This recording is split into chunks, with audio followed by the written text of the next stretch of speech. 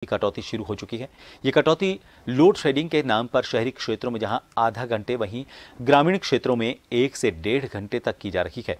दूसरी ओर प्रदेश की तेईस थर्मल इकाइयों में से काली सिंध, छबड़ा और राजवेस्ट की थर्मल यूनिट सहित चार थर्मल यूनिट से बिजली उत्पादन बंद चल रहा है।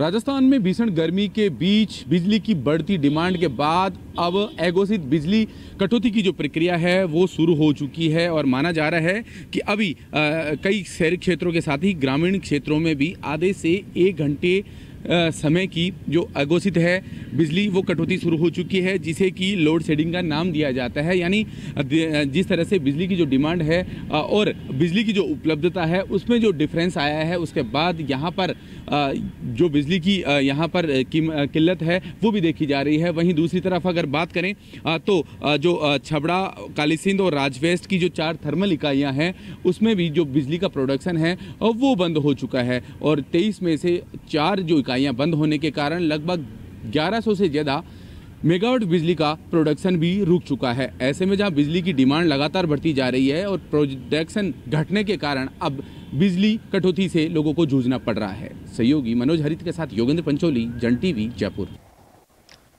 और यहाँ रुकेंगे एक